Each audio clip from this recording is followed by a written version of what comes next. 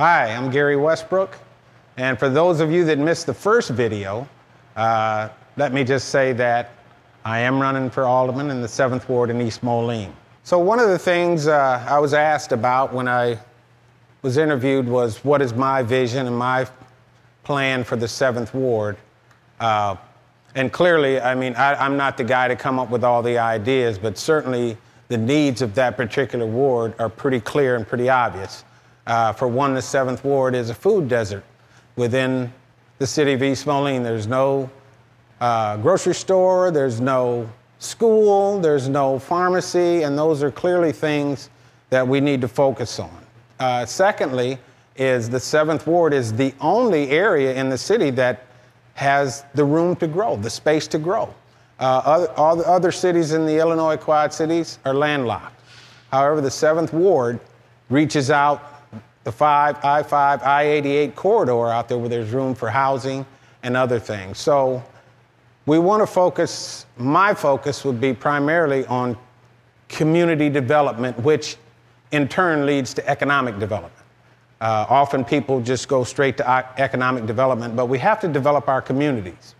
And uh, that is very important. So in the seventh ward, that would be my primary focus is to get those things, just those necessary things within the seventh ward. And I do believe that I can accomplish that. Uh, and so now I want to share with you just some of my qualifications.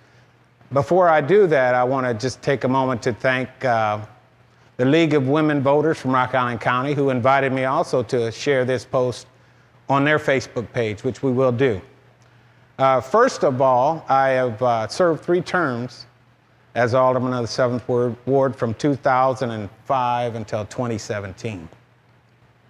Now, within that 12 year period or three terms, uh, I accomplished much in that ward, bringing millions of dollars into the 7th Ward in terms of infrastructure and other improvements, uh, park improvements, uh, we had some flooding issues clearly in the seventh ward, which we uh, were able to significantly impact that situation through dredging of Sugar Creek and some other uh, operations that we were able to manage. I served on several committees on the city council, and uh, just my experience within the government is really what qualifies me to be the candidate and actually the 7th Ward Alderman. And so I'm going to be looking forward to you voting for Gary Westbrook, 7th Ward Alderman.